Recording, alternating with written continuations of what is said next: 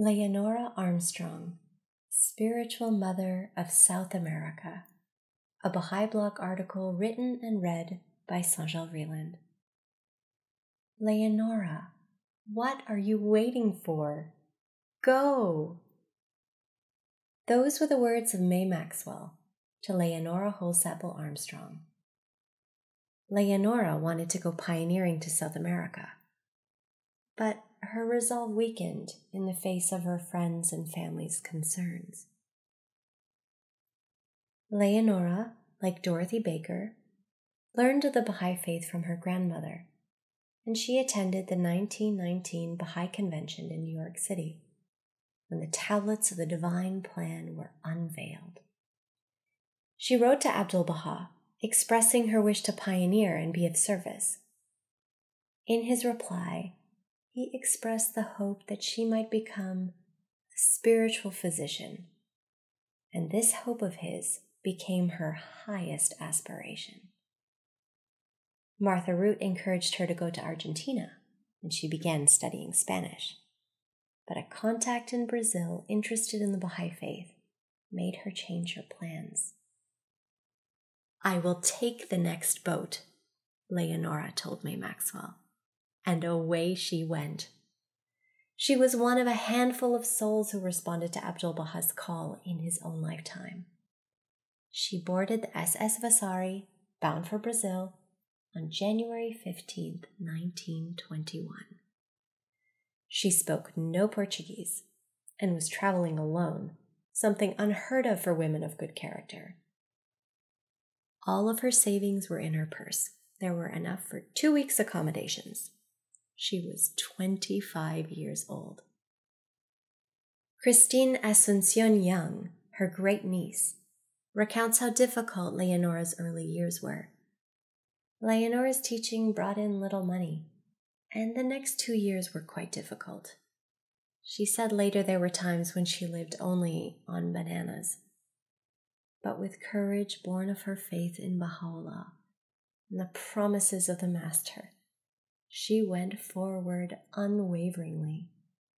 In her obituary, Hooper Dunbar writes she often suffered loneliness, meager means, malnutrition, and illness. Three months after settling in the city of Santos, she received news of the death of her grandmother. And not long thereafter, she learned of the passing of Abdu'l-Baha. A tablet he had written to her, addressed simply Brazil, to the maidservant of God, Leonora Sterling Holsapple, comforted her and sustained her, as did the words of Shoghi Effendi. For example, he wrote, I will pray that you may be guided and fortified by the Spirit of our beloved Master, who I am sure is watching over you and sustaining you in your labors. Persevere and never lose heart. Leonora moved from city to city as the need arose. She followed the instructions of Shoghi Effendi to prioritize her tasks with teaching first and foremost, translating the writing secondly, and performing social work, her profession, lastly. While living in Recife, Leonora married Harold Armstrong, an English engineer, whose income freed Leonora to devote herself to the faith.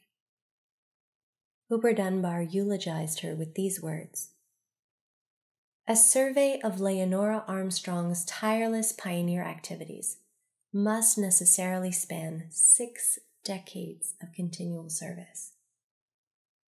Her achievements marked a high tide in human endeavor, whether in her constant teaching of individuals, her historic travels, the publicity she garnered for the cause wherever she went, her Herculean labor of translating, publishing, and disseminating Baha'i literature both in Portuguese and Spanish, her work in spreading the message through correspondence, or her eventual material contributions to the community.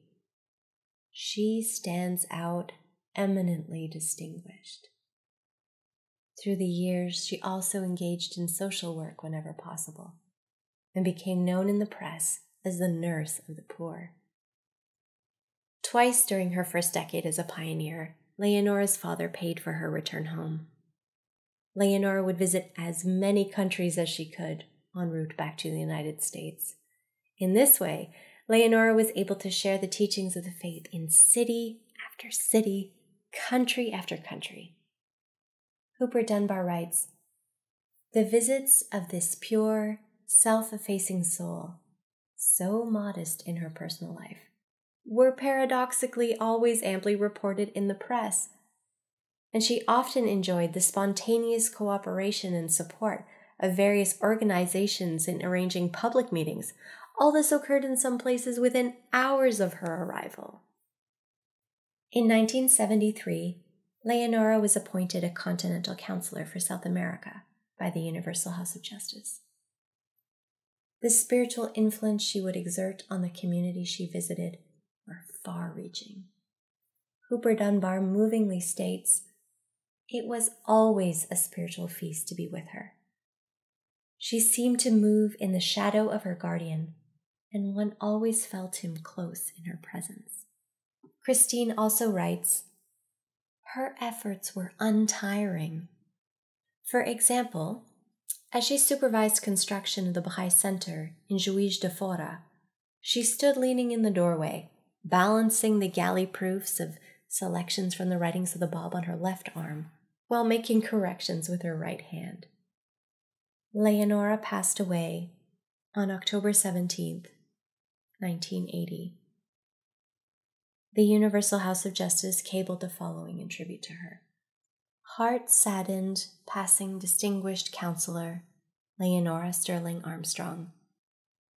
Herald of the Kingdom, beloved handmaiden Abdu'l-Baha, spiritual mother of South America. Her 60 years' valiant service caused Brazil shed luster annals faith that promising land. Request memorial services, Mashriqul Azkars, Wilmette, Panama. Urge all communities Brazil likewise hold services, offering ardent supplications most holy shrines, progress, her radiant spirit, Abha Kingdom. I am also moved by Ruhiyyih Khanum's words about Leonora's life. The study of such a life as Leonora's, a life of complete consecration to Baha'u'llah and his teachings, a life of ceaseless work which lasted till a few hours before her passing at the age of 85. A life in which it never even occurred to Leonora that she was sacrificing such a life is a manual for every generation of Baha'is to study and presents an enduring challenge to all those who would follow in her footsteps. The more I learn about Leonora, the more I love her. I hope this short piece gives you a glimpse of the strength of her character.